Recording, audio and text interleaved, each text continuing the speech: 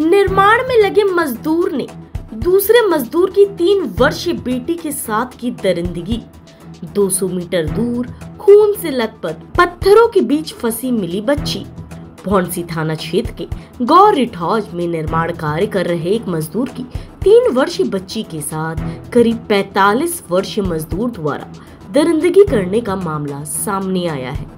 Police ने बच्ची खून से लथपथ हालत में एक मकान के पीछे पत्थरों के बीच फंसी मिली।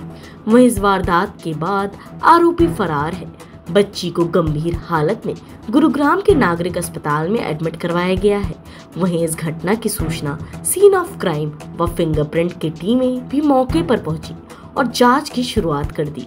मध्य प्रदेश के पन्ना निवासी कई मजदूर रिठौस थाड़ी पर रविंद्र फौज के मकान में निर्माण कार्य कर रहे थे।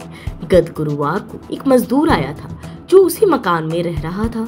रात को मजदूर की तीन वर्षीय बच्ची गायब हो गई। शुक्रवार करीब सात बजे एक मकान के पीछे बच्ची के रोने की आवाज़ सुनी तो ग्रामीणों ने देखा कि बच्ची खून से लथपथ हालत में वहाँ पड़ी है, जो पत्थरों के बीच में फंसी हुई थी, जिसके बाद बच्ची के मिलने की सूचना मजदूरों तक पहुँची तो वे मौके पर पहुँचे और बच्ची की पहचान तो वे मौके पर पहुँचे और बच्ची की पहचान की।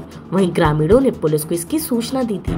पुलिस ने मौके पर पहुंचकर बच्ची को कब्जे में लेकर गुरुग्राम के नागरिक अस्पताल में एडमिट कराया।